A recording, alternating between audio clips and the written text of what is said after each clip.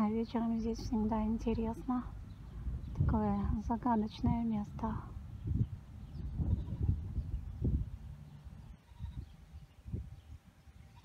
Вдали Днестровский лиман. Античное время Днестровского лимана не было. Был остров Тирогетов.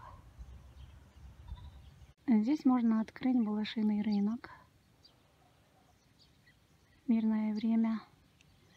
И чтобы входил пятерку всемирных блошиных рынков. Все просто. 2500 лет здесь был рынок. Проходили морские сухопутные пути.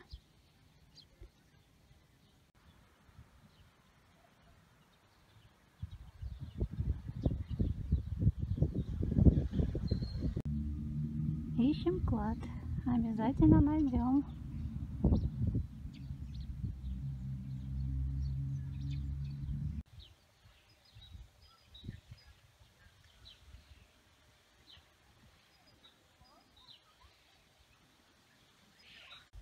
Красота на берегу лимана.